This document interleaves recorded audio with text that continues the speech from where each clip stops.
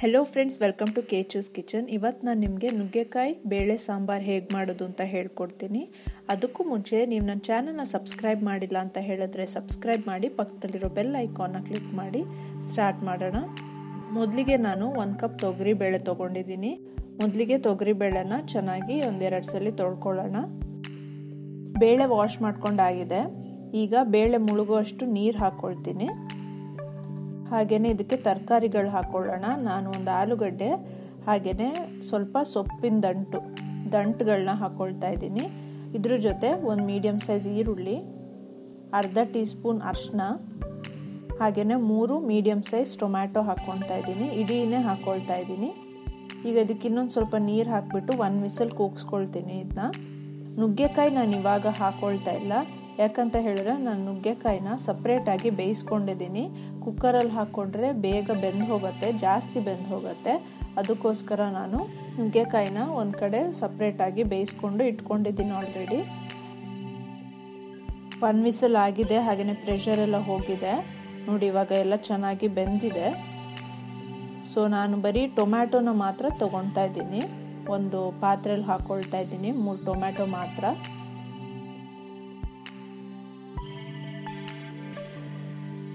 ಈಗ ಟೊಮ್ಯಾಟೊ ಎಲ್ಲ ಚೆನ್ನಾಗಿ ಬೆಂದಿರೋದ್ರಿಂದ ಚೆನ್ನಾಗಿ ಇದನ್ನ ಕಿವಿಚ್ಕೋಬೋದು ಟೊಮ್ಯಾಟೊನ.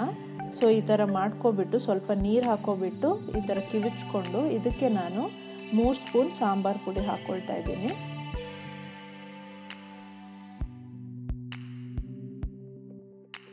ಈಗ ಸಾಂಬಾರ್ ಪುಡಿ ಜೊತೆ ಇದನ್ನ ಚೆನ್ನಾಗಿ ಮಿಕ್ಸ್ ಮಾಡ್ಕೊಳ್ಳೋಣ.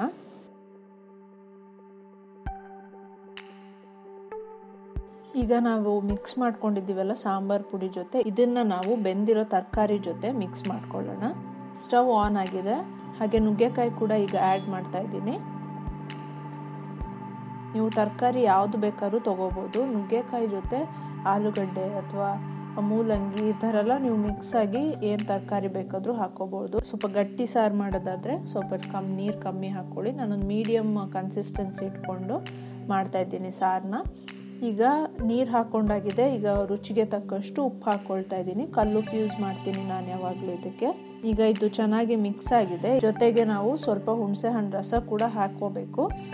ಒಂದೂವರೆ ಸ್ಪೂನ್ ಒಂದೂವರೆ ಟೇಬಲ್ ಸ್ಪೂನ್ ಸಾಕಾಗತ್ತೆ. ಮಿಕ್ಸ್ ಮಾಡಿಬಿಟ್ಟು ಕುದಿಯೋಕ್ಕೆ ಇಟ್ಬಿಡೋಣ.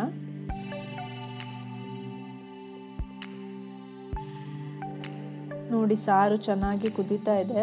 ಹಾಗೆಯೇ ಎಲ್ಲ ಚೆನ್ನಾಗಿ ಬೆಂದಿದೆ. ಸೊ ಇದಿವಾಗ ಆಗಿದೆ, ನಾವು ಒಗ್ಗರಣೆ ಮಾಡ್ಕೊಳ್ಳೋಣ ಈಗ.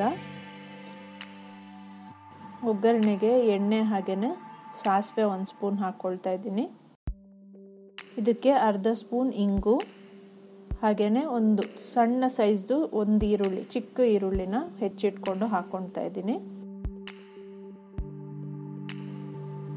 ಹಾಗೆಯೇ ಸ್ವಲ್ಪ ಕರಿಬೇವು, ಇದೆಲ್ಲದನ್ನು ಚೆನ್ನಾಗಿ ಮಿಕ್ಸ್ ಮಾಡಿ ಆಫ್ ಮಾಡ್ಕೊಳ್ಳೋಣ.